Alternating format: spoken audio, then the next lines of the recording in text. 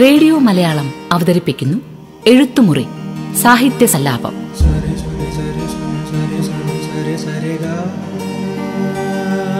ഇന്നത്തെ എഴുത്തുമുറിയിൽ കേൾക്കാം സന്തോഷ് ഏച്ചിക്കാനവുമായുള്ള അഭിമുഖം.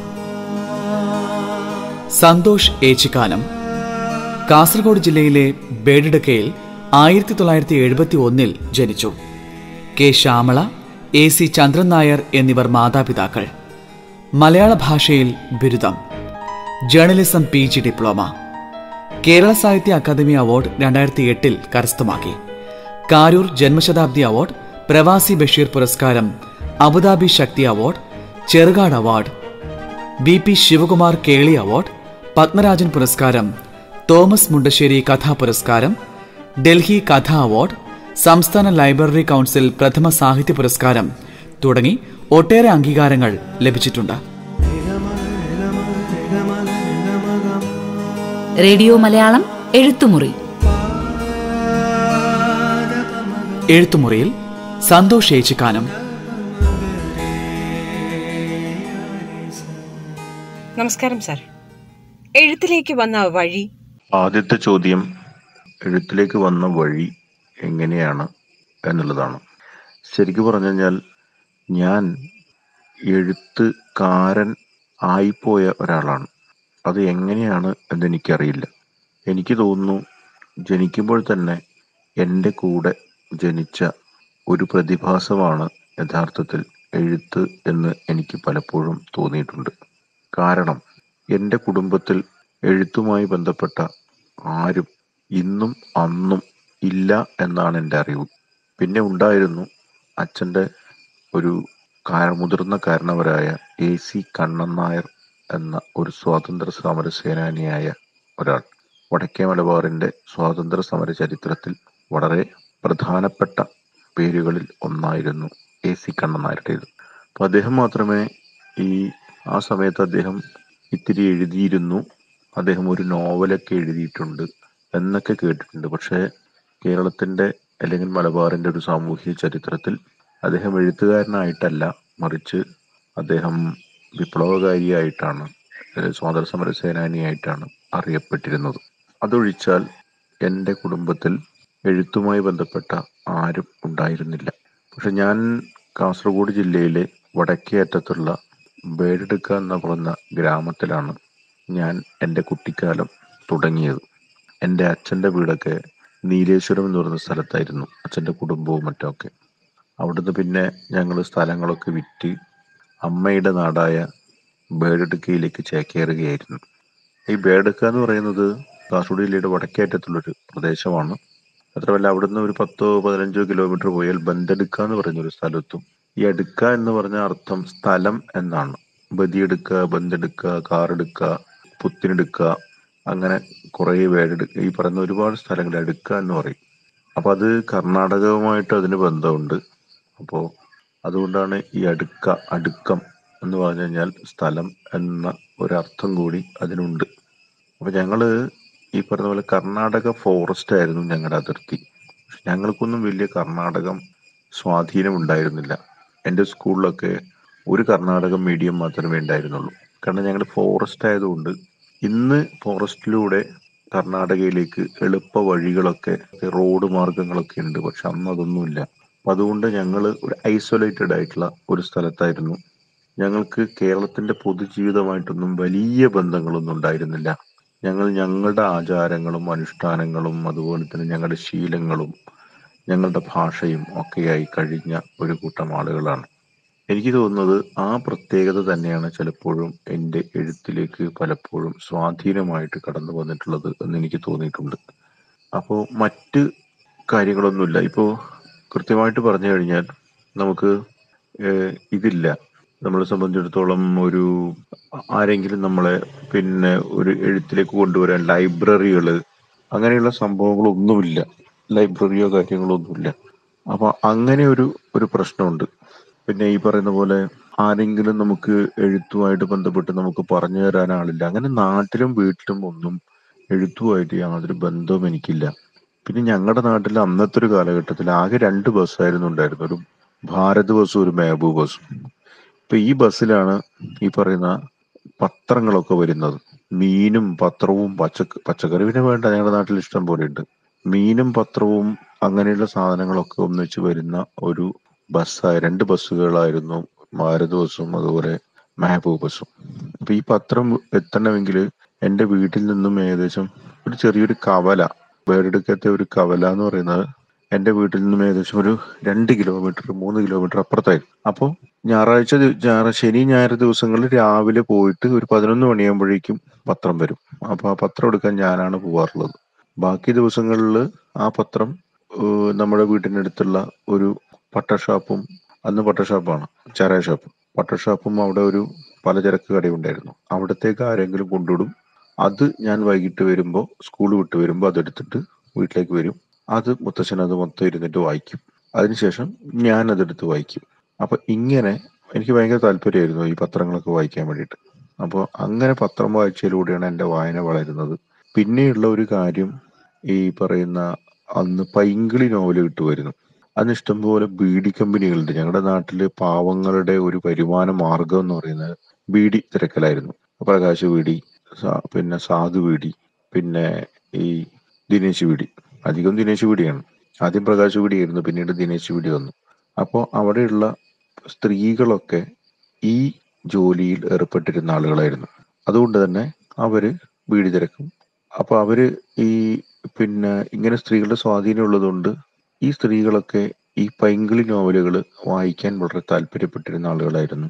പിന്നെ മാത്രമല്ല അന്ന് ഞങ്ങളുടെ നാട്ടിൽ പ്രണയവുമായി ബന്ധപ്പെട്ട് ആത്മഹത്യകളൊക്കെ നടന്നിട്ടുണ്ട് ഇഷ്ടംപോലെ.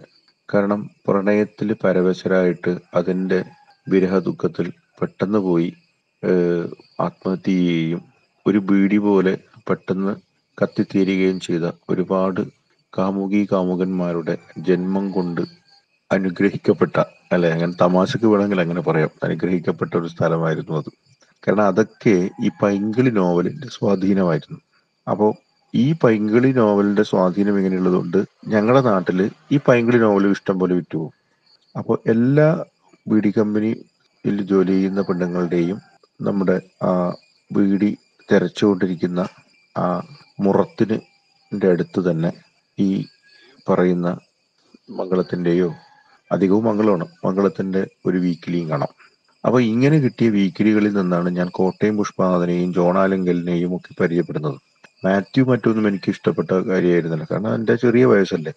ഒരു ഏഴാം ക്ലാസ് ഒക്കെ പഠിക്കുന്ന സമയത്ത് പ്രണയമൊന്നും നമുക്ക് പക്ഷെ ഭയങ്കര ഇൻട്രസ്റ്റ് ആയിരുന്നു. കോട്ടയം പുഷ്പനാഥ് ബാറ്റൻ ബോസ് ജോൺ ആലിങ്കൽ പ്രളയത്തിന്റെ കഥ എഴുതും ജോൺ അപ്പോൾ അപ്പൊ അങ്ങനെയുള്ള സ്വാധീനമായിരുന്നു എനിക്കുണ്ടായിരുന്നത്.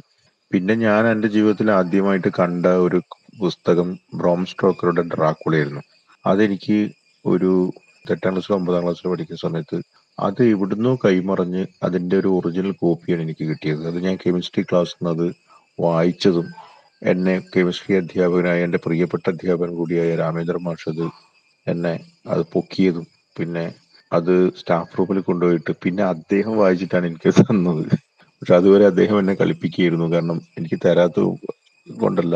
അദ്ദേഹം അത് വായിച്ചു തീരുന്നവരെ ഒരു ആഴ്ച ഞാൻ കാത്തു നിന്ന് ഡെയിലി പോയിട്ട് മാഷോട് മാഷ് എന്റെ ആ പുസ്തകം എന്താ ആ പുസ്തകം എന്താ? എന്ന് പറഞ്ഞ് ഒടുവിൽ അത് അദ്ദേഹം എനിക്ക് തരികയും ചെയ്തു. അപ്പൊ ഇതാണ് എന്റെ ഒരു അന്നത്തെ പിന്നെ ഞങ്ങൾക്ക് ലൈബ്രറി സ്കൂളിൽ ലൈബ്രറി ഉണ്ടായിരുന്നില്ല. പക്ഷെ ആ സമയത്ത് ഈ ലൈബ്രറി ഒന്നും ഇല്ലാത്തതുകൊണ്ട് തന്നെ ഞങ്ങൾ പുസ്തകങ്ങൾ വേണമായിരുന്നു. ഞങ്ങൾക്ക് വായിക്കണം വായിക്കണം. പിന്നെ നമുക്ക് വായിക്കാൻ കിട്ടുന്ന ഒരു അവസരം ഈ ഞങ്ങളുടെ അവിടെ കളിയാട്ടം നടക്കും. തെയ്യം ഉണ്ടല്ലോ ഞങ്ങളുടെ നാട്ടിൽ. കാസർഗോഡ് ഇല്ലല്ലേ അപ്പോൾ തെയ്യം ഉള്ളതുകൊണ്ട് തെയ്യത്തിന് പോകുമ്പോൾ വേളായി വേളായി എന്നൊക്കെ പറഞ്ഞ സ്ഥലമുണ്ട്. അവിടെയൊക്കെ തെയ്യം കെട്ട് ഞങ്ങൾക്ക് വലിയ തൃശ്ശൂർ പൂരം പോലെയായിരുന്നു. ആ സമയത്ത് അല്ലെങ്കിൽ ഈ കുണ്ടംകുഴി പഞ്ചലിംഗേശ്വര ക്ഷേത്രത്തിലെ ഉത്സവ സമയത്തൊക്കെ ഞങ്ങൾക്ക് ഈ ബാറ്റൻ ബോസിന്റെയും മറ്റേതുപോലെ തന്നെ കോട്ടയം പുഷ്പനാഥിന്റെ ഒക്കെ ചെറിയ ചെറിയ പുസ്തകങ്ങൾ ഡിറ്റക്റ്റീവ് നോവലുടെ ചെറിയ രൂപങ്ങൾ അല്ലെങ്കിൽ അദ്ദേഹം എഴുതിയ വലിയ ഡിറ്റക്റ്റീവ് നോവലിന്റെ സംക്ഷിപ്ത രൂപങ്ങൾ ഇതൊക്കെ നമുക്ക് ഈ പറയുന്ന പുസ്തകങ്ങളായിട്ട് കിട്ടും. ഇതല്ലാതെ മറ്റ് യാതൊരു സൗകര്യവും ഞങ്ങൾക്ക് ഉണ്ടായിരുന്നില്ല അതുകൊണ്ട് മാത്രമല്ല ഞങ്ങളൊക്കെ ഞാനൊക്കെ അന്ന് നടന്നിട്ടാണ് പഠിച്ചത്. ഏകദേശം ഒരു ഏഴ് കിലോമീറ്റർ ആറ് ഏഴ് കിലോമീറ്റർ ഒക്കെ ഉണ്ടെന്ന് തോന്നുന്നു എനിക്ക്. ഒരു അത്രയും ഉണ്ടാവും. ഒന്നിലേക്ക് ഒരു ആറ് കിലോമീറ്റർ എങ്കിലും ഉണ്ടാവും. ആറ് കിലോമീറ്റർ അങ്ങോട്ടും ആറ് കിലോമീറ്റർ ഇങ്ങോട്ടും. പന്ത്രണ്ട് കിലോമീറ്റർ ഡെയിലി നടന്നിട്ടാണ് ഞങ്ങൾ സ്കൂളിൽ പോയിരുന്നത്. അപ്പൊ ഞങ്ങൾ കൂട്ടത്തോടെയാണ് സ്കൂളിൽ പോകുന്നത്. പ്രത്യേകിച്ച് എന്റെ ഒരു അടുത്ത സുഹൃത്താണ് ഗോപി ഗോപിനാഥൻ എന്ന് പറഞ്ഞിട്ട്. ഗോപി അന്ന് ഇന്നിപ്പോ ഭയങ്കര ഹൈറ്റ് പെട്ടെന്നാണ് ഗോപി ഹൈറ്റ് വെച്ചത്. അന്ന് ഗോപി ചെറുതായിരുന്നു. ഗോപിക്ക് അങ്ങനെ സ്കൂളിൽ പോകാനൊന്നും വലിയ താല്പര്യമൊന്നുമില്ല. പക്ഷെ ഞാൻ നിർബന്ധിക്കുന്നതുകൊണ്ട് ഗോപി എന്റെ കൂടെ വരും. അപ്പോൾ അങ്ങനെ ഞങ്ങൾ രണ്ടുപേരും ഭയങ്കര സുഹൃത്തുക്കളായി. പക്ഷെ ഗോപിക്ക് വേറൊരു കാര്യം. ഇന്നും ഗോപിക്ക് ഭയങ്കര ഓർമ്മശക്തിയാണ്. പണ്ട് പറഞ്ഞ കഥകളൊക്കെ അവൻ ഇപ്പൊ എന്നോട് പറഞ്ഞുകൊണ്ടിരിക്കും. കാരണം ഞാനിവന് സ്കൂളിൽ കൊണ്ടുപോകാൻ വേണ്ടിയിട്ട് കഥ പറയലായിരുന്നു എന്റെ പണി. അപ്പോൾ ഇറങ്ങി നടക്കുമ്പോൾ തന്നെ പറയടാ കഥ തുടങ്ങും കഥ തുടങ്ങും. അങ്ങനെ ഞാൻ ഓരോ കഥകൾ ഉണ്ടാക്കുക ഇത് വലിയ നോവലുകളായിരുന്നു അന്ന്. ഒരു ഏഴാം ക്ലാസ് എട്ടാം ക്ലാസ് ഒമ്പതാം ക്ലാസ് ഒക്കെ സമയത്ത് ഈ നോവലുകളാണ് പറയുന്നത്. ഒരു കഥ പറഞ്ഞ് സ്കൂളിലെത്തും വരെ അത് തുടർന്ന് അവിടെ വെച്ചിട്ട് തുടരും എന്ന് പറയുന്നു പറഞ്ഞ് പിന്നീട് തിരിച്ചിങ്ങോട്ട് അതിന്റെ ബാക്കി പറഞ്ഞ് പിറ്റേ ദിവസം വീണ്ടും അതിന്റെ ബാക്കി പറഞ്ഞ്. അപ്പൊ ഈ കഥ കേൾക്കാനുള്ള അതിന്റെ ഒരു ഇൻട്രസ്റ്റ് ഉണ്ടല്ലോ. എന്താ ഒരു ക്യൂരിയോസിറ്റി ആ ക്യൂരിയോസിറ്റിക്ക് വേണ്ടിയിട്ടാണ് പലപ്പോഴും ഗോപി എന്റെ കൂടെ സ്കൂളിലേക്ക് വന്നിട്ടുണ്ട് എന്ന് വന്നിട്ടുള്ളത് എന്ന് എനിക്ക് പലപ്പോഴും തോന്നിയിട്ടുണ്ട്. ഇതിന്റെ ഇടയ്ക്ക് അവൻ ഇപ്പോ കുവൈറ്റിലാണ് ജോലി ചെയ്യുന്നത്. അപ്പൊ കണ്ടപ്പോൾ കണ്ടപ്പോ അവൻ എനിക്ക് ഓർമ്മയില്ലാത്ത പല സാധനങ്ങളും അന്ന് ഞാൻ അവനോട് പറഞ്ഞു കൊടുത്ത കഥ കഥാപ്രസംഗം മുട്ട എന്നൊക്കെ പറയുന്ന കഥാപ്രസംഗം കഥാപ്രസംഗം ഉണ്ട് ഇതിന്റെ ഇടയിൽ. പിന്നെ അതിന്റെ ഇടയിൽ തന്നെ ഞാൻ എപ്പോഴും ഒരു നൂറ് പേജിന്റെ നോട്ട്ബുക്ക് എപ്പോഴും വാങ്ങിക്കും എന്നിട്ട് അതിൽ നോവൽ എഴുതും. കറുത്ത കഴുകൻ എന്ന് പറയുന്ന നോവൽ ഞാൻ അങ്ങനെ എഴുതിയ നോവലാണ്. അതൊക്കെ ഈ ബാറ്റൻ ബോസിന്റെയൊക്കെ സ്വാധീനം കൊണ്ടാണ് അതൊക്കെ സംഭവിച്ചിട്ടുള്ളത്. അപ്പം അതെഴുതും അങ്ങനെ ഇത് കിട്ടിക്കഴിഞ്ഞാൽ സ്കൂളിൽ ഭയങ്കര താല്പര്യമാണ്. കാരണം മറ്റു പുസ്തകങ്ങളൊന്നും ഇല്ലല്ലോ. അതുകൊണ്ട് ഞങ്ങൾക്ക് മൂന്ന് ഡിവിഷൻസ് ഉണ്ട്. പത്താം ക്ലാസ്സിലും ഒമ്പതാം ക്ലാസ്സിലൊക്കെ മൂന്ന് ഡിവിഷൻ ഉണ്ട്. എ ബി സി ഈ ഡിവിഷനിലൊക്കെ ഇത് വായിക്കും. അങ്ങനെ കറങ്ങി തിരിഞ്ഞിട്ട് ചെളിയും അതുപോലെ തന്നെ പിന്നെ കീറലുകളും ഒക്കെ ആയിട്ട് ആ പുസ്തകം എന്റെ കയ്യിലേക്ക് തിരിച്ചു വരുമ്പോൾ എനിക്ക് ഭയങ്കര സന്തോഷമാണ്. കാരണം ഇത്രയും ആൾക്കാർ നമ്മുടെ കഥകൾ വായിച്ചല്ലോ എന്ന് പറഞ്ഞിട്ട്. എങ്കിലും എനിക്കൊരു കഥാകാരൻ എന്നുള്ള ഒരു അപ്രീസിയേഷൻ ഒന്നും ആ സമയത്ത് എന്റെ കൂട്ടുകാർക്കിടയിൽ മറ്റു കൂട്ടുകാർക്കിടയിൽ നിന്ന് കിട്ടിയിരുന്നില്ല. അങ്ങനെ വായിച്ചു പോയി അത്രയും മാത്രമേ ഉള്ളൂ. പിന്നെ വേറൊരു കാര്യം ആ സമയത്താണ് ഒരു ഒമ്പതാം ക്ലാസ് പഠിക്കുമ്പോഴാണ് ഒരു നമ്മുടെ സ്കൂളിൽ ഒരു കഥാമത്സരം നടക്കുന്നതും രാജമാഷ് എന്ന് പറയുന്ന ഒരു മാഷ് മലയാള മാഷ് കഥ എഴുതാൻ അവിടെ ആളില്ലാത്തത് കൊണ്ട് ഉച്ചയ്ക്ക് ഊണ് കഴിച്ചിട്ട് ഈ വരാന്തയിലൂടെ നടക്കുകയായിരുന്ന എന്റെ കോളറിന് പൊക്കി എടുത്ത് പിടിച്ചു പൊക്കി എടുത്തിട്ട് സ്റ്റാഫ് റൂമിൽ കൊണ്ടുപോയി ഇരുത്തി കഥ എഴുതിപ്പിക്കുകയും ചെയ്തു. ആ കഥാ മത്സരത്തിൽ എനിക്കായിരുന്നു ഫസ്റ്റ് ഞാൻ പോലും ഞെട്ടിപ്പോയി. ഇത് അപ്പൊ എനിക്ക് ഭയങ്കര സന്തോഷം തോന്നി. കാരണം ഈ കോളാമ്പി മൈക്കിലൂടെ സന്തോഷ് കുമാർ കെ ഒന്നാം സമ്മാനം എന്ന് കഥാ മത്സരം ഒന്നാം സമ്മാനം ഓഫ് സ്റ്റേജ് മത്സരം. അന്ന് നേരെ ജില്ലയിലേക്കാണ്. പക്ഷെ ജില്ലയിലേക്ക് ആര് കൊണ്ടുപോകാനാണ്? അന്ന് ജില്ലയിലേക്കൊന്നും ആരും കൊണ്ടുപോയില്ല. അതോടുകൂടി എന്റെ കഥ പരിപാടിയൊക്കെ അവിടെ തീർന്നു.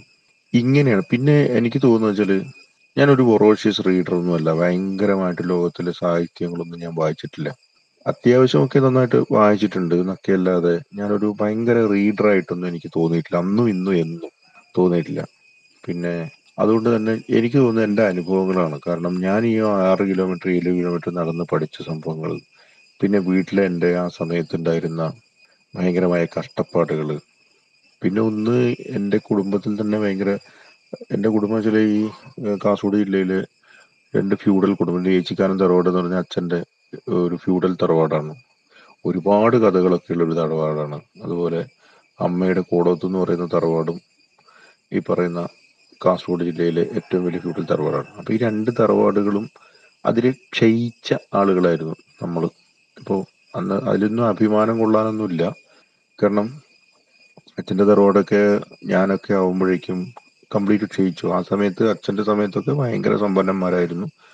നമ്മളൊക്കെ ഒരു ആറ് ആറാം ക്ലാസ് നാലാം ക്ലാസ് അഞ്ചാം ക്ലാസ് വരെയൊക്കെ സമ്പന്നന്മാരായിരുന്നു. പക്ഷെ അതിന്റെ ഇടയിൽ പിന്നീട് കംപ്ലീറ്റ് തകർന്നു.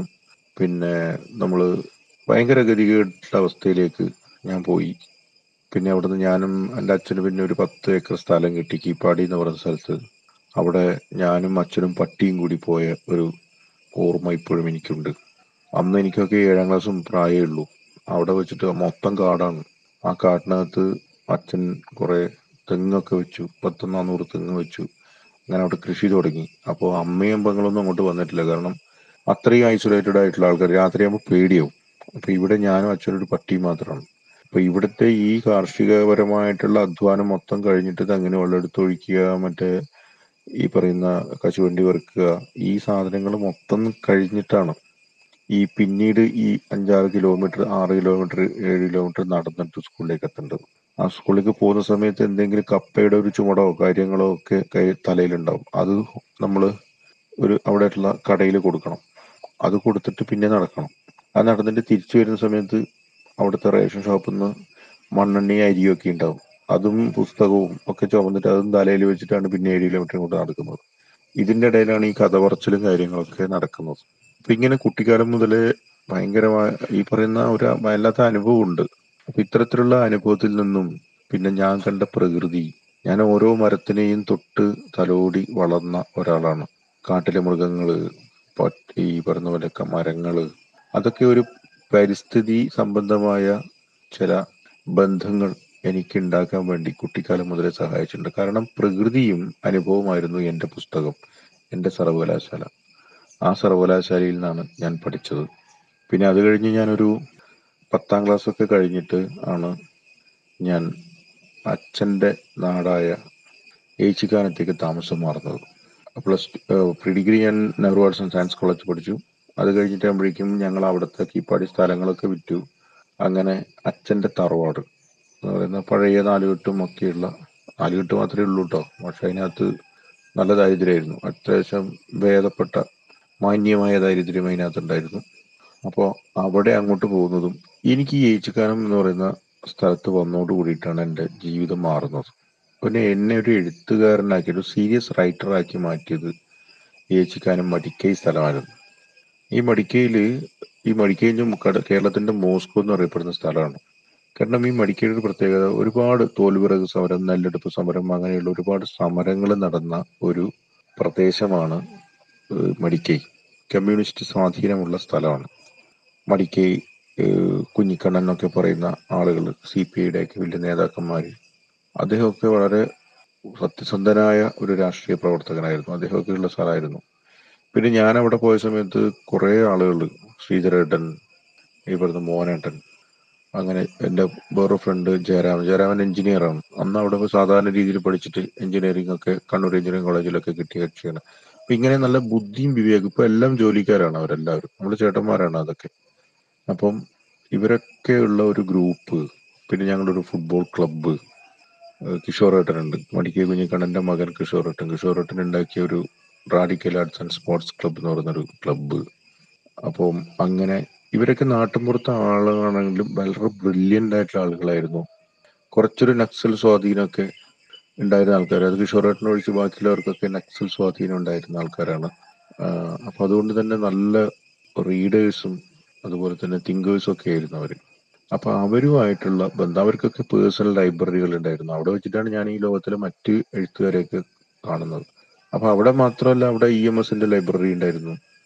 അപ്പം അങ്ങനെ കുറെ ലൈബ്രറി ഉണ്ട് പുസ്തകങ്ങൾ കണ്ടു. പിന്നെ ഇവരുടെ പേഴ്സണൽ ലൈബ്രറികളിൽ നിന്ന് കുറെ സാധനം എടുത്തു. പിന്നെ ഇവരുടെ കൂടെ കൂടിയിട്ടുള്ള അനുഭവങ്ങൾ അവർ പറയുന്ന കാര്യങ്ങളൊക്കെ ചെയ്തപ്പോൾ എനിക്കൊരു പുതിയ ലോ ജീവിതത്തിന്റെ പുതിയൊരു വാതിൽ തുറക്കപ്പെടുന്ന പോലെ തോന്നി. ഞാൻ സീരിയസ് ആയിട്ട് വായിക്കാൻ വേണ്ടി തുടങ്ങി. എനിക്ക് ഒരു സാധാരണ രീതിയിൽ എം ടി പിന്നെ മാധവിക്കുട്ടി ബഷീർ അങ്ങനെയുള്ള ഒരു വായനയൊന്നുമില്ല. ഞാൻ ആദ്യം തന്നെ വായിച്ചത് ഈ പറഞ്ഞ പോലെ ഒ വി വിജയനാണ് പിന്നെ അതുപോലെ തന്നെ ഈ പറഞ്ഞ സാർത്തറിനൊക്കെയാണ്. എനിക്കൊന്നും മനസ്സിലാവുന്നില്ല. സാർത്തറിനെ ഈ പുസ്തകങ്ങളൊക്കെയാണ് ഇവിടെയുള്ളത് അപ്പൊ ഇങ്ങനെ അവിടുന്ന് ഇവിടുന്ന് അന്തവും കുന്തവും ഇല്ലാതെ ഉള്ളൊരു വായന എനിക്കുണ്ടാവുകയും അങ്ങനെ ആ വായനയിലൂടെയാണ് ഞാൻ ഞാൻ എഴുതുന്ന ഈ പൈങ്കിളി സാധനങ്ങളോ ഡിറ്റക്റ്റീവ് നോവലുകളോ അല്ല യഥാർത്ഥത്തിൽ സാഹിത്യം എന്ന് പറയുന്നത്. മറിച്ച് എന്റെ സാഹിത്യം എന്ന് പറഞ്ഞാൽ കുറച്ചും കൂടി സീരിയസ് ആയിട്ട് എഴുതാനുള്ള ഒരു സാഹിത്യമാണെന്ന് ഞാൻ മനസ്സിലാക്കുന്നതും ഞാൻ സാഹിത്യത്തിലേക്ക് സീരിയസ് ആയിട്ട് വരുന്നതും ആ സമയത്താണ്. അപ്പൊ ആദ്യ കാലഘട്ടത്തിൽ കവിതകളായിരുന്നു ഞാൻ ഏറ്റവും കൂടുതൽ എഴുതിയിരുന്നത്.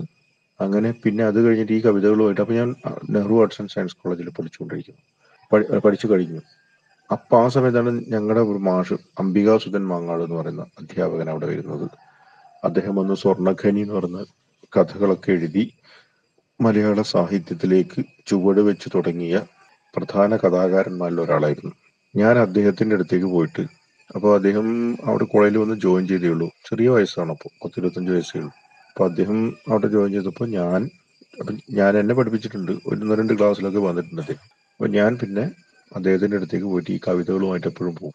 അത് കൊണ്ട് കാണിക്കും. കവിതകൾ വായിച്ച് അദ്ദേഹം അഭിപ്രായം പറയും. ശരിക്കും നല്ല ഗദ്യത്തിലുള്ള വലിയ വലിയ ഖണ്ഡകാവ്യങ്ങളാണ് എഴുതുന്നത്. എഴുത്തച്ഛനും ചെറുശ്ശേരിയും അതുപോലെ തന്നെ പിന്നെ ഇടശ്ശേരിയും ഒക്കെയാണ് ചെങ്ങമ്പുഴയൊക്കെയാണ് സ്വാധീനം. അതേപോലെ തന്നെ അതേ ക്വാളിറ്റി അത്ര ഉണ്ടോന്ന് എനിക്കറിയില്ല. ക്വാളിറ്റി എന്തായാലും അത്ര ഉണ്ടാവില്ലല്ലോ. എങ്കിലും ആ ശൈലിയിലാണ് ഞാൻ എഴുതിക്കൊണ്ടിരുന്നത്. അപ്പൊ അദ്ദേഹം അതിനെ അത് കൊണ്ടുപോയി കാണിച്ചപ്പോൾ അദ്ദേഹം പറഞ്ഞു എനിക്ക് എഴുതാനുള്ള കഴിവൊക്കെ ഉണ്ട്. പക്ഷെ എനിക്ക് തോന്നുന്നു വെച്ചാൽ നിനക്ക് കവിതയെക്കാളും നിന്റെ മാധ്യമം അങ്ങനെ ഉണ്ടല്ലോ ഒരു സ്പോർട്സ് എന്ന് പറയുമ്പോൾ നമുക്ക് ചില ആൾക്കാർക്ക് ഫുട്ബോൾ ആയിരിക്കും ചിലർക്ക് ബാസ്കറ്റ് ബോൾ ആയിരിക്കും ക്രിക്കറ്റ് ആയിരിക്കും അങ്ങനെ പറയുമ്പോൾ നിനക്ക് നിന്റെ കവിതയുടെ ഒരു ദൈർഘ്യവും വിവരണവും ഒക്കെ കാണുന്നതിന്റെ അടിസ്ഥാനത്തിൽ എനിക്ക് തോന്നുന്നത് നിനക്ക് കഥ എഴുത്തായിരിക്കും ബെസ്റ്റ് എന്ന് പറഞ്ഞിട്ട് അദ്ദേഹം എന്നെ കഥയുടെ മാർഗത്തിലേക്ക് തിരിച്ചുവിട്ടു. അങ്ങനെയാണ് ഞാൻ പിന്നീട് കഥ എഴുതാൻ വേണ്ടി തുടങ്ങുന്നതും ഞാനൊരു കഥാകാരനായിട്ട് മാറുകയും ചെയ്യുന്നത്. ഇതാണ് എന്റെ എഴുത്തിലേക്ക് ഒരു എഴുത്തുകാരനാക്കിയ ഒരു സർഗാത്മകമായ സാമൂഹികമായ ജീവിതപരമായ ഒരു പരിസരം എന്ന് പറയുന്നത് ഇതാണ്. മലയാളം മലയാളം. നിങ്ങൾ കേട്ടുകൊണ്ടിരിക്കുന്നത് റേഡിയോ മലയാളം. എവിടെയെല്ലാം മലയാളി അവിടെയെല്ലാം മലയാളം. റേഡിയോ മലയാളത്തിൽ നിങ്ങൾ കേട്ടുകൊണ്ടിരിക്കുന്നത് സന്തോഷ് ഏച്ചിക്കാനുമായുള്ള അഭിമുഖം. ആദ്യമായി ഒരു എഴുത്തുകാരനെ കണ്ട കാര്യം കഥാസമാഹാരത്തിന്റെ ആമുഖത്തിൽ പറഞ്ഞിട്ടുണ്ട്. ആ അനുഭവം അതും വേടെടുക്കുക എന്ന് പറഞ്ഞ എന്റെ ഗ്രാമത്തിൽ വെച്ചാണ് ഞാൻ ഒരു എഴുത്തുകാരനെ കാണുന്നത്. അദ്ദേഹം എഴുത്തുകാരനാണോ എന്ന് നിങ്ങൾ വിചാരിക്കും അദ്ദേഹം വലിയൊരു എം ടിയെ പോലെയോ അല്ലെങ്കിൽ മൂന്തനെ പോലെയോ ഒക്കെയുള്ള വലിയൊരു എഴുത്തുകാരനായിരിക്കുന്നു. അല്ല. അവിടെ ഉണ്ടായിരുന്ന എന്റെ എന്റെ ഓർമ്മ ശരിയാണെങ്കിൽ എനിക്ക് തോന്നുന്നു നാരായണൻ എന്നാണോ മറ്റാണോ അദ്ദേഹത്തിന്റെ പേര്. കുറേ വർഷങ്ങൾക്ക് മുമ്പാണ്. അപ്പൊ ഞാനന്ന് ഒരു അഞ്ചാം ക്ലാസ്സിലൊക്കെ പഠിച്ചുകൊണ്ടിരിക്കുന്ന നാലാം ക്ലാസ്സിൽ അഞ്ചാം ക്ലാസ്സിലൊക്കെ പഠിച്ചുകൊണ്ടിരിക്കുന്ന ഒരാൾ. അപ്പൊ നമ്മൾ ഈ സമയത്ത് നമ്മളെ വീടിന്റെ അടുത്ത് അതായത് വീട്ടിൽ നിന്ന് ഒരു കിലോമീറ്റർ അപ്പുറത്തുള്ള ഒരു ഞാൻ പറഞ്ഞു നേരത്തെ പറഞ്ഞതുപോലെ അവിടെ ഒരു ചാരായക്കടയുണ്ട് പിന്നെ ഒരു പലചരക്ക് കടയുണ്ട്. പിന്നെ തൊട്ട് ബാക്കിലുള്ളത് ഒരു കോഴിക്കളമാണ്. കോഴിക്കളം എന്ന് പറഞ്ഞാൽ അന്ന് ഈ കോഴി അംഗം ഞങ്ങളുടെ നാട്ടിലെ പ്രധാന ഒരു വിനോദമായിരുന്നു കോഴി അംഗം. അപ്പൊ കോഴി അംഗം നടന്നുകൊണ്ടിരിക്കുന്ന ഒരു കോഴിക്കളം. അപ്പൊ അതൊക്കെയായിരുന്നു നമ്മൾ വിനോദം. അപ്പോൾ അതുകൊണ്ട് അതുമായിട്ട് ഇടക്കിടക്ക് ഇങ്ങനെ ഈ പറയുന്ന പോലെ കോഴിയംഗം അവിടെ നടന്നുകൊണ്ടിരിക്കും. അപ്പോൾ ആളുകൾ വന്ന് കൂടും. തെയ്യവുമായിട്ട് ബന്ധപ്പെട്ട് തെയ്യം നടക്കുന്ന സമയത്തൊക്കെയാണ് ഈ കുഴിയംഗം കൂടുതലായിട്ടും വരുന്നത്. അപ്പോൾ പോലീസ് വരും ഓടിക്കും വീണ്ടും കുഴിയംഗം നടത്തും. അങ്ങനെയുള്ള ഒരു പരിപാടിയായിരുന്നു. അപ്പോൾ അവിടെ അവിടെ വെച്ചാണ് ഞാൻ ഒരു സാധനം വാങ്ങാൻ വേണ്ടി പോയപ്പോഴാണ് ഞാനൊരു എഴുത്തുകാരനെ കാണുന്നത്. അപ്പോൾ ആൾ പറഞ്ഞത് നാരായണൻ എന്നാണ് അയാളുടെ പേര്. ആളുകൾക്കൊക്കെ തമാശയായിരുന്നു അയാൾ. മൺ വട്ടാണ് ഈ എന്തൊക്കെയാണ് എഴുതി വെക്കുന്നത് പറഞ്ഞിട്ട് അയാളെ കുറിച്ച് മോശമായ രീതിയിൽ പറയുന്നതാണ് ഞാൻ ആദ്യമായിട്ട് കേട്ടത്. കാരണം വട്ട് പിടിച്ചൊരുത്തരാണ് എന്തൊക്കെ എഴുതി എഴുതുന്നു എന്നൊക്കെ രീതിയിൽ. കാരണം അദ്ദേഹത്തിന് ഈ പറഞ്ഞ ബെൽപ്ലാസി പോലുള്ള ഒരു അസുഖം അല്ലെങ്കിൽ ബെൽപ്ലാസിൽ എനിക്ക് ജന്മന ഉള്ളതാന്ന് തോന്നുന്നു. അങ്ങനെ മുഖം കൂടിപ്പോയ ഒരു മനുഷ്യനാണ്. ബാക്കിൽ ഒരു മുതുകത്തൊരു കൂനുണ്ട്. ഇങ്ങനെയുള്ള ഒരു ആരോഗ്യപരമായിട്ടും ദുർബലനായ അവിവാഹിതനായ ഒരു ചെറുപ്പക്കാരൻ. ഒരു പത്ത് മുപ്പത് വയസ്സൊക്കെ ഉള്ള ഒരു ഒരാൾ. ഇദ്ദേഹം ഇങ്ങനെ വരും. വന്നിട്ട് അദ്ദേഹം എന്തൊക്കെ എഴുതിയിട്ടുണ്ടാവും. അതൊന്നും ഈ പുസ്തകം വായിച്ചിട്ടൊന്നും എഴുതുന്നതല്ല കേട്ടോ. ബേസിക്കിൽ ബേസിക് ആയിട്ട് ഒരു ഇൻസ്റ്റിങ്ക്റ്റ് ഉണ്ടാകുന്ന സാധനങ്ങളാണ്. ഇദ്ദേഹം ഈ എഴുതിയ സാധനം രാവിലെ കൊണ്ടുവന്നിട്ട് ഈ പട്ട ഷാപ്പ് ഉണ്ട് പട്ട ഷാപ്പ്. ഈ പട്ട ഷാപ്പിന്റെ ഏഹ്, വാതിൽ എന്ന് പറയുന്നത് പണ്ട് നമ്മളിൽ ചില ആൾക്കാർക്ക് അറിയാൻ സാധിക്കുമായിരിക്കും. പലകകളാണ്. പണ്ടത്തെ ഒരു സ്റ്റൈലുണ്ട് പലകകൾ ഇങ്ങനെ ഇട്ട് ഇട്ട് ഇട്ടിട്ട് വാതിലല്ല. പലകകൾ ഇങ്ങനെ ഇട്ട് ഇട്ടിട്ട് നിറച്ചിട്ട് പിന്നെ അതെല്ലാം കൂടിയിട്ട് ലോക്ക് ചെയ്യുക. അപ്പൊ ഈ പലകകളുടെ മുകളിലാണ് ഇദ്ദേഹം കൊണ്ടുവന്നിട്ട് ഇത് ഒട്ടിക്കുക. ഇത് ഒട്ടിച്ചു കഴിഞ്ഞാൽ ഇത് രാവിലെ ആയിരിക്കും ഇത് കൊണ്ട് ഒട്ടിക്കുന്നത്. അല്ലെങ്കിൽ ഇത് വൈകുന്നേരം ആയിരിക്കും അദ്ദേഹം കൊണ്ടുപോയി ഒട്ടിക്കുന്നത്. അപ്പൊ ഈ രാവിലെ കൊണ്ടുവന്ന് ഒട്ടിക്കുമ്പോൾ അപ്പോഴേക്കും പട്ടഷാപ്പുകാരൻ വരും. ഒരു എട്ട് മണിയെല്ലാം നമ്മളേക്ക് ഷോപ്പ് അപ്പൊ രാവിലെ ഒന്നും അവിടെ ഒന്നും ആരും ആൾക്കാരുണ്ടല്ലോ. കാരണം കൃഷിപ്പണിയൊക്കെ ഇഷ്ടം പോലെ ഇട്ട് കൃഷിപ്പണിയെല്ലാം കഴിഞ്ഞിട്ട് ഒന്ന് ആ സ്ഥലമൊക്കെ ഒന്ന് മറ്റേ കടയൊക്കെ സജീവമാണെങ്കിൽ ഒരു പത്ത് പതിനൊന്ന് മണിയും ഒരു രണ്ടെണ്ണം അടിച്ച് പിന്നെ വീട്ടിലേക്കൊക്കെ പോകുന്ന ആൾക്കാരായിരിക്കും. കൃഷിപ്പണിയൊക്കെ രാവിലെ അഞ്ചു മണിയാകുമ്പോൾ തുടങ്ങും. മൊത്തം കൃഷിയായിരുന്നു. അപ്പോൾ ഇയാൾ ഇവിടെ വന്നിട്ട് തൊട്ടിക്കും. ഒട്ടിക്ക് ഇവിടെ വന്നിട്ട് തൊട്ടിച്ചു കഴിഞ്ഞാൽ നേരെ പട്ടഷാപ്പുകാരൻ വരും. ഈ പലക എടുത്തിട്ട് ഒരു വെക്കും. അതിന്റെ മുകളിൽ വേറെ പലക വെക്കും. അതിന്റെ മുകളിൽ വേറെ വരും എന്നിട്ടാണ് ഇത് തുറക്കുന്നത്. ഇതാരും വായിക്കുന്നില്ല. രാത്രിയാകുമ്പോൾ ഈ പലകയിൽ എടുത്തിട്ട് ഇയാൾ ഇതേപോലെ ഇടും. പരാതിയൊന്നുമില്ല. ഇതിൽ ഒട്ടിക്കുന്നതിൽ പരാതിയൊന്നുമില്ല ഇയാൾക്ക്.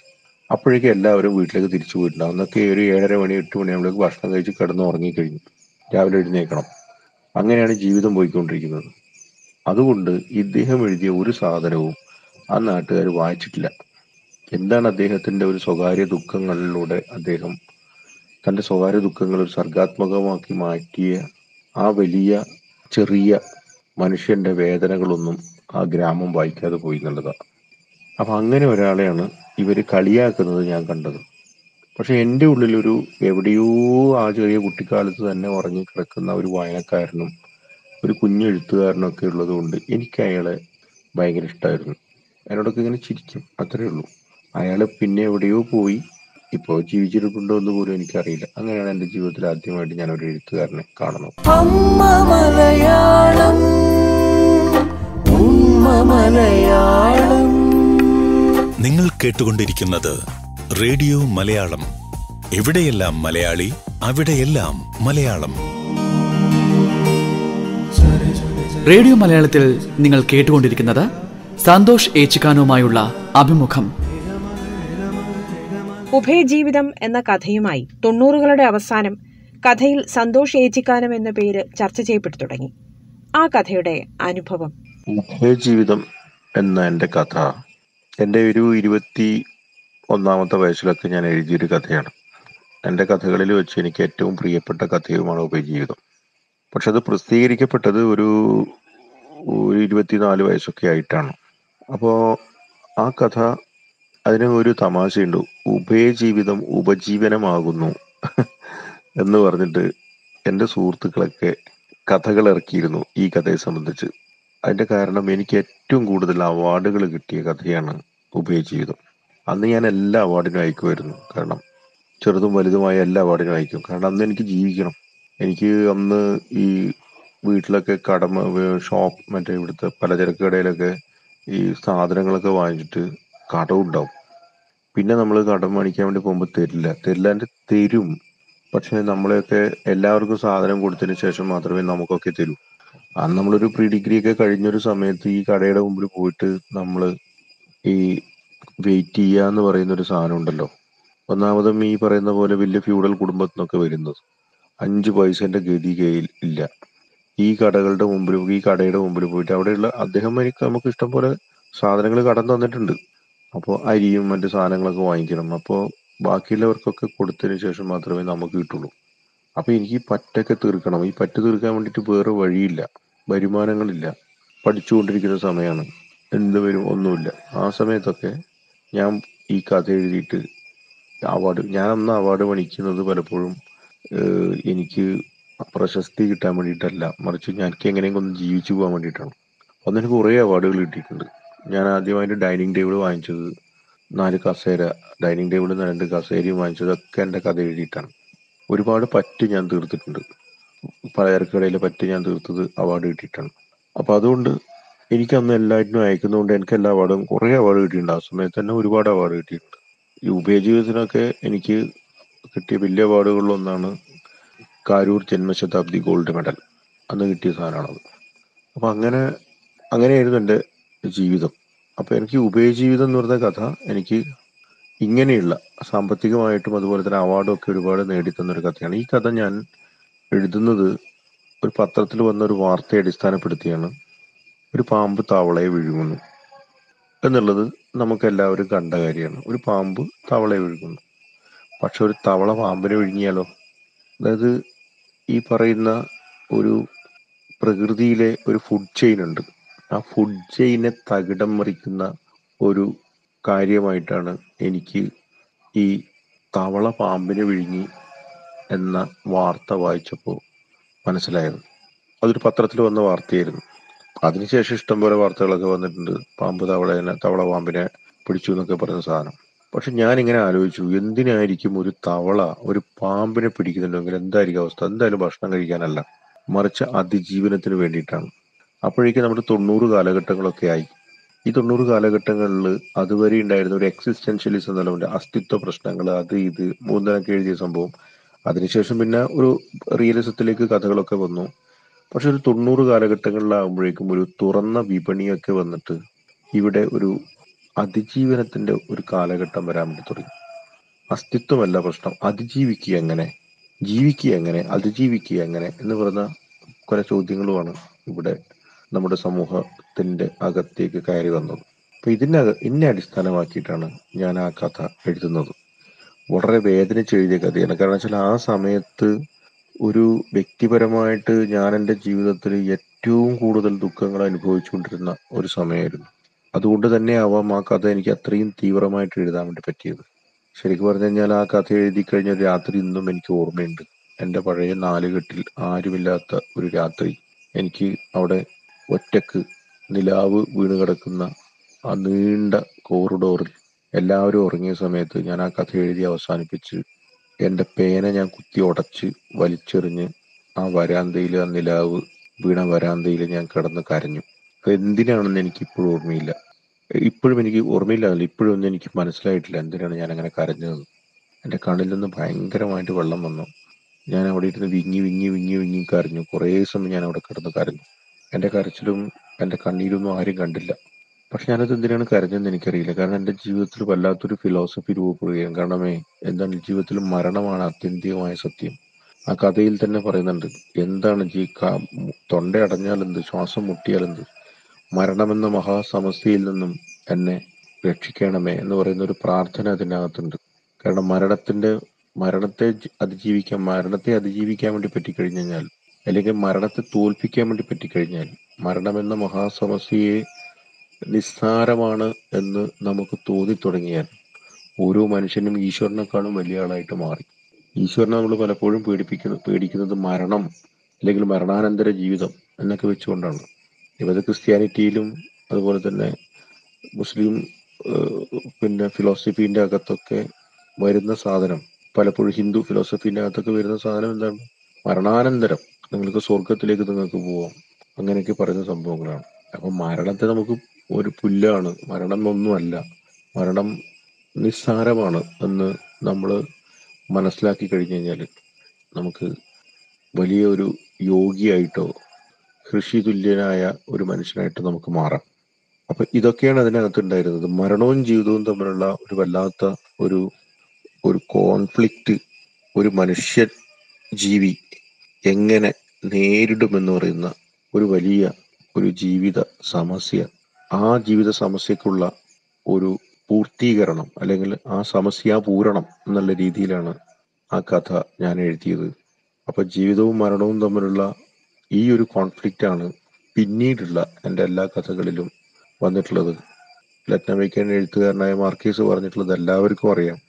അദ്ദേഹം പറഞ്ഞിട്ടുള്ളത് ലോകത്ത് അദ്ദേഹം ഒരു കഥ മാത്രമേ എഴുതിയിട്ടുള്ളൂ. അതിന്റെ എക്സ്റ്റൻഷനാണ് ബാക്കി എല്ലാ കഥകളും.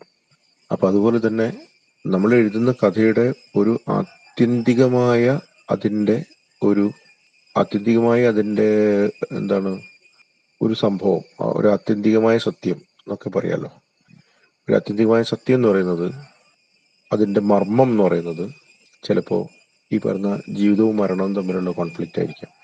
ഇരയും വേട്ടക്കാരനും തമ്മിലുള്ള കോൺഫ്ലിക്റ്റ് മരണവും ജീവിതവും തമ്മിലുള്ള കോൺഫ്ലിക്റ്റ് ദുഃഖവും സന്തോഷവും തമ്മിലുള്ള കോൺഫ്ലിക്റ്റ് മഴയും വെയിലും തമ്മിലുള്ള കോൺഫ്ലിക്റ്റ് ആ ഒരു കാര്യമാണ് ജീവിതത്തിന് അത്യന്തികമായ ആ സത്യമാണ് ഞാൻ ആ കഥയിലേക്ക് കൊണ്ടുവരാൻ ശ്രമിച്ചത്. അതുകൊണ്ട് തന്നെ എന്റെ മറ്റു കഥകളിലും ഈ കഥയുടെ സ്വാധീനമുണ്ട്. അതുകൊണ്ട് തന്നെ ആയിരിക്കും അതിന് ഒരുപാട് അപ്രീസിയേഷൻ കിട്ടിയതും ഒരുപാട് അവാർഡുകൾ കിട്ടിയതും. ഞാൻ എന്റെ ഡൈനിങ് ടേബിൾ വാങ്ങിച്ചതും ഞാൻ നല്ല ഭക്ഷണം കഴിച്ചതും ഞാൻ നല്ല ചെരുപ്പ് വാങ്ങിയിട്ടതും അല്ലെങ്കിൽ ഒരു നല്ല ഷർട്ട് കീറാത്തൊരു ഷർട്ട് വാങ്ങിയിട്ടതൊക്കെ ഒരുപക്ഷെ ജീവിതത്തിന്റെ ഈ ആത്യന്തികമായ സത്യം എഴുതിയത് കൊണ്ടായിരിക്കാം. അങ്ങനെ ഭൗതികമായും ആത്മീയവുമായിട്ടും എന്നെ ഒരുപാട് സഹായിച്ച ഒരു കഥയാണ് ഉഭയജീവിതം എന്ന് പറയാം. അമ്മ മലയാളം ഉമ്മ മലയാളം. നിങ്ങൾ കേട്ടുകൊണ്ടിരിക്കുന്നത് റേഡിയോ മലയാളം. എവിടെയെല്ലാം മലയാളി അവിടെയെല്ലാം മലയാളം. റേഡിയോ മലയാളത്തിൽ നിങ്ങൾ കേട്ടുകൊണ്ടിരിക്കുന്നത് സന്തോഷ് ഏച്ചിക്കാനുമായുള്ള അഭിമുഖം. ഏറെ ചർച്ച ചെയ്യപ്പെട്ട കൊമാല എന്ന കഥ രൂപപ്പെട്ട വഴി. കുമാലയും ഈ പറയുന്ന പോലെ ബിരിയാണിയൊക്കെ പോലെ മലയാളത്തിൽ നന്നായി ആളുകൾ വായിച്ച ഒരു കഥയാണ്. അതിന്റെ ഏറ്റവും വലിയ സന്തോഷം വന്ന് മാതൃഭൂമിയുടെ ഫ്രണ്ട് കവറായിട്ട് അതിനു മുമ്പ് മാതൃഭൂമിയുടെ ചരിത്രത്തിൽ ഒരു ഫ്രണ്ട് കവർ ആയിട്ട് ഒരു കഥ വന്നിട്ടില്ല എന്നാണ് എനിക്ക് തോന്നുന്നത് മുഖചിത്രമായിട്ട്. അത് എന്റെ കഥയുടെ ഗുണം മാത്രമല്ല ആ കഥ എഴുതി അതും ഈ പറയുന്ന കേരളം വന്ന് നേരിട്ടുകൊണ്ടിരിക്കുന്ന കർഷക ആത്മഹത്യ എന്ന വലിയൊരു ദുരന്തത്തെ അടിസ്ഥാനപ്പെടുത്തി എഴുതിയ കഥയാണ്. മാത്രമല്ല ആ കഥയെ ആ കഥയായിട്ട് മനസ്സിലാക്കാൻ അതിന്റെ ആ ഇന്റൻസിറ്റിയോട് കൂടിയിട്ട് മനസ്സിലാക്കാൻ അന്ന് എഡിറ്ററായിട്ടുള്ള കമൽറാം സജീവിന് സാധിച്ചു. അദ്ദേഹത്തിന്റെ ഒരു മനസ്സുകൂടിയാണ് അദ്ദേഹത്തിന്റെ ഒരു എഡിറ്റർ എന്ന രീതിയിലുള്ള അദ്ദേഹത്തിന്റെ ഉത്തരവാദിത്വവും അദ്ദേഹത്തിന്റെ ബുദ്ധി സാമർഥ്യവും കണ്ടെത്തലും ഒക്കെയാണ് ആ കഥയെ മാതൃഭൂമിയുടെ മുഖചിത്രമാക്കി മാറ്റിയത് എന്ന് ഞാൻ വിശ്വസിക്കുന്നു. അതുകൊണ്ട് തന്നെ ആ കഥ മലയാളത്തിൽ വളരെ കൂടുതൽ ശ്രദ്ധിക്കപ്പെട്ടു. പിന്നെ അത് പ്ലസ് ടുവിന് പത്ത് വർഷം കുട്ടികൾക്ക് പഠിക്കാനുണ്ടായി. അങ്ങനെ ഭയങ്കരമായിട്ട് എനിക്ക് ഒരു കഥാകാരൻ എന്ന രീതിയിൽ എന്റെ ഒരു ബ്രേക്കായിരുന്നു. എനിക്കൊരു ബ്രേക്ക് തന്ന കഥയായിരുന്നു കുമാലൻ. അത് ഈ പറഞ്ഞ പോലെ അതുണ്ടായതിന്റെ പിന്നിൽ ഒരു കഥയുണ്ട്. അത് നമ്മുടെ തിരുവനന്തപുരത്ത് ഫിലിം ഫെസ്റ്റിവൽ നടക്കുന്ന സമയത്ത് ആണ്. അന്നാണ് ഈ കഥക്കുള്ളൊരു കഥാ തന്തു എനിക്ക് കിട്ടുന്നത്. അപ്പം അന്ന് വളരെ വർഷങ്ങൾക്ക് മുമ്പാണ്.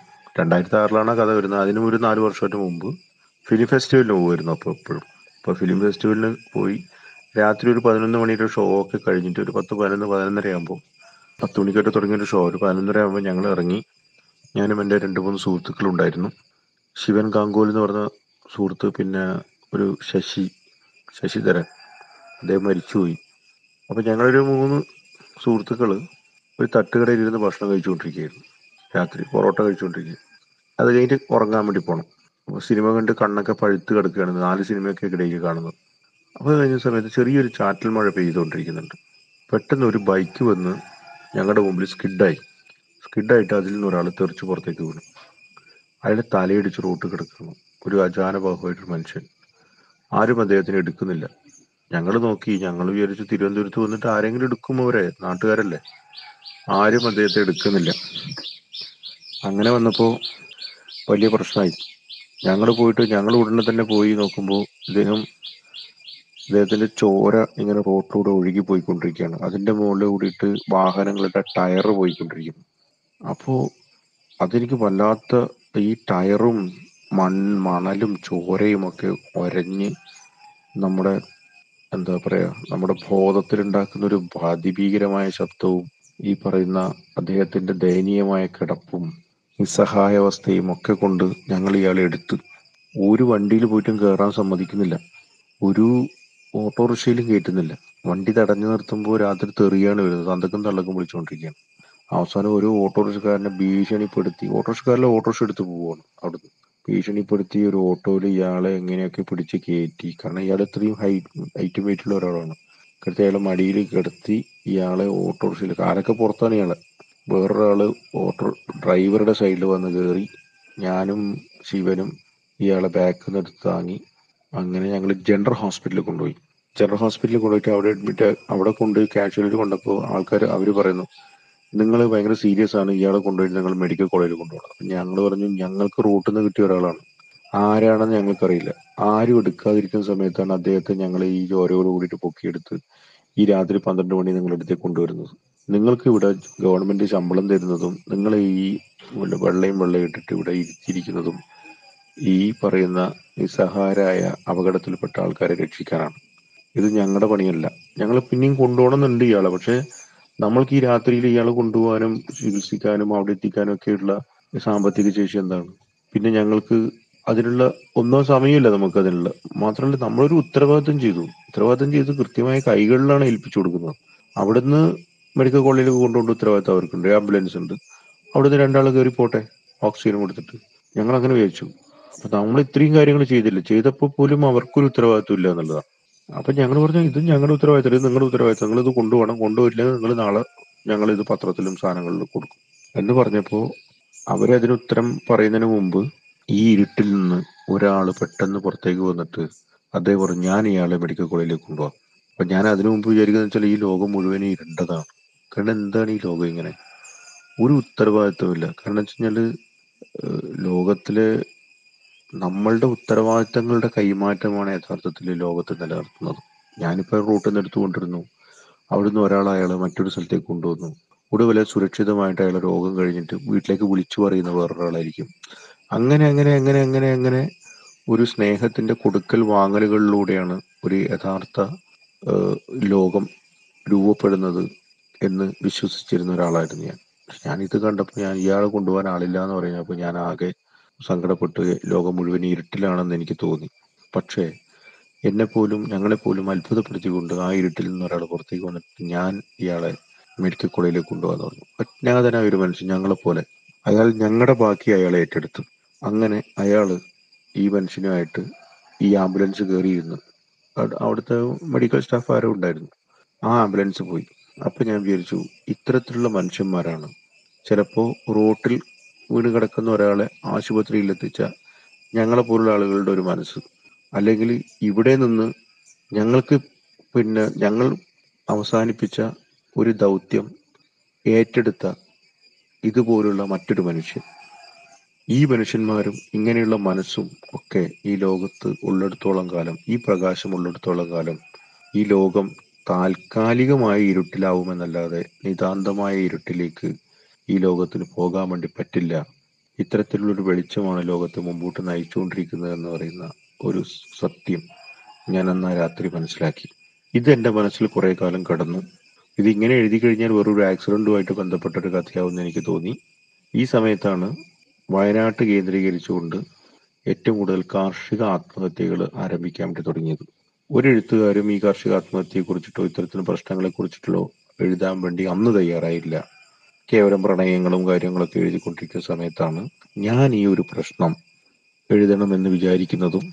അങ്ങനെ ഞാനത് ഇത് ആ കർഷക ആത്മഹത്യയുമായി ബന്ധപ്പെട്ടുകൊണ്ട് ഇങ്ങനെ ആക്സിഡന്റ് പറ്റിയ ഈ മനുഷ്യനൊരു കർഷകനായിരുന്നെങ്കിലോ എന്ന് പറഞ്ഞിട്ട് തുടങ്ങി എഴുത്ത് പോയി പോയി പോയി ഒരു സ്ഥലത്തെത്തുമ്പോൾ പെട്ടെന്ന് എനിക്ക് പണ്ടെപ്പോഴോ വായിച്ച ഞാൻ എന്റെ ഒരു ഈ പറയുന്നില്ലേ ഏച്ചിക്കാനത്തൊക്കെ വന്നപ്പോൾ വായിച്ചതാണ്. ഈ നക്സൽ സുഹൃത്തുക്കൾക്കിടയിൽ നിന്ന് വായിച്ചതാണ് എന്റെ പെട്രോ പരമോ റോൾഫോന്റെ പെട്രോ പരം. അന്ന് എനിക്കൊന്നും മനസ്സിലായില്ല. അത് കഴിഞ്ഞൊരു പത്ത് ഇരുപത്തഞ്ച് വയസ്സാകുമ്പോൾ ഞാൻ വീണ്ടും എടുത്ത് വായിച്ചു. അന്നും എനിക്കൊന്നും മനസ്സിലായില്ല. അത് കഴിഞ്ഞിട്ട് കൊമാലയിലേക്ക് എത്തി എത്താൻ വേണ്ടി ഞാൻ വീണ്ടും വായിച്ചപ്പോഴാണ് ഈ പെഡ്രോ പരാമോ എന്ന് പറയുന്ന നോവലിൽ കാലത്തിന്റെ സങ്കല്പങ്ങൾ എടുത്തു കളഞ്ഞുകൊണ്ട് ഹുവാൻ റുൾഫോ എന്ന് പറയുന്ന അദ്വിതീയനായ ഈ എഴുത്തുകാരൻ എഴുതി വച്ചിരിക്കുന്ന ഒരു ജീവിത വീക്ഷണത്തിന്റെ മാസ്മരികമായ ഒരു ലോകം എനിക്ക് മനസ്സിലാവുന്നത് യഥാർത്ഥത്തിൽ അപ്പോഴാണ്. അപ്പൊ അതിൽ കൊമാലയുണ്ട്. Comala imaginary ലാൻഡാണ്. എല്ലാവരും മരിച്ചുപോയ ഒരു സ്ഥലം. അത് മെക്സിക്കോവിന്റെ ചരിത്രമാണ് യഥാർത്ഥത്തിൽ എഴുത്. മരിക്കുക ഒരു മനുഷ്യൻ മരിക്കുക പറഞ്ഞാൽ അയാൾ ആത്മീയമായി മരിക്കുമ്പോഴാണ് മരണം സംഭവിക്കുന്നത്. ഭൗതികമായിട്ട് ആർക്കും മരിക്കുക എല്ലാവരും മരിക്കുന്നുണ്ട്. പക്ഷെ ജീവിച്ചിരിക്കെ തന്നെ മനസ്സ് മരിച്ചു പോവുക എന്ന് പറയുന്ന ഒരു അവസ്ഥ ഉണ്ടല്ലോ ഈ മനസ്സ് പോയി മരിച്ചു പോയ ആൾക്കാരാണ് ഇവിടെ യുദ്ധങ്ങളും അതുപോലെ തന്നെ ഈ പട്ടിണിയും ഒക്കെ ഉണ്ടാക്കിക്കൊണ്ടിരിക്കുന്നത്. അപ്പൊ ഇങ്ങനെ സ്നേഹമില്ലാത്തൊരു മനസ്സ് മരിച്ച മനസ്സിന് തുല്യമാണ്. ഇപ്പൊ ഗാന്ധിജിയൊക്കെ മരിച്ചതിന് ശേഷം നമ്മുടെ ഉള്ളിൽ ജീവിക്കുന്നത് എന്തുകൊണ്ടാണ്? അദ്ദേഹത്തിന് ഈ ലോകത്തോട് മുഴുവൻ ഒരു സർവചരാചരങ്ങളോടും വലിയ സ്നേഹം ഉണ്ടായിരുന്നു. അതുപോലെ തന്നെ ബഷീറിനും അതുണ്ടായിരുന്നു. അതുകൊണ്ടാണ് അവർ പിന്നെയും നമ്മുടെ ലോകത്ത് ജീവിച്ചുകൊണ്ടിരിക്കുന്നത്. അപ്പോൾ ഈ ഒരു അവസ്ഥയെ കുറിച്ചാണ് യഥാർത്ഥത്തിൽ ഈ കോമാല എന്ന് പറയുന്ന ഇമാജിനറി ലാൻഡിലൂടെ ഹുവാൻ റുൾഫ് പറയാൻ വേണ്ടി ശ്രമിച്ചത്.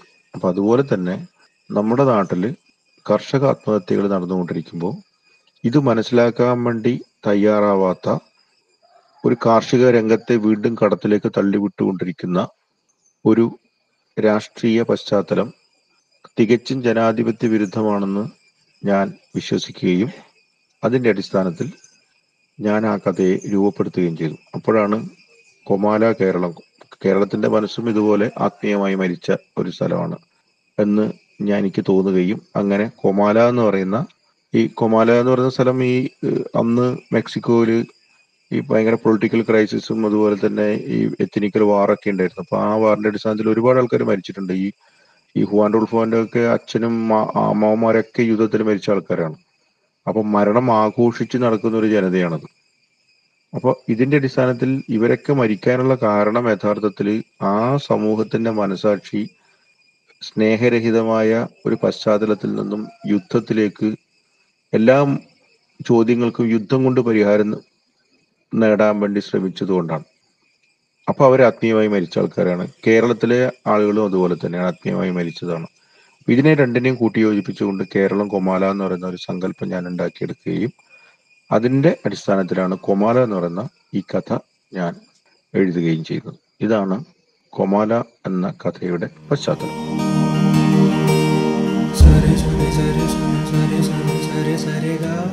ഇന്നത്തെ എഴുത്തുമുറിയിൽ നിങ്ങൾ കേട്ടത് സന്തോഷ് ഏച്ചിക്കാനുമായുള്ള അഭിമുഖം. തുടർന്നുള്ള ഭാഗം അടുത്ത എഴുത്തുമുറിയിൽ. റേഡിയോ മലയാളം. എവിടെയെല്ലാം മലയാളി അവിടെയെല്ലാം മലയാളം.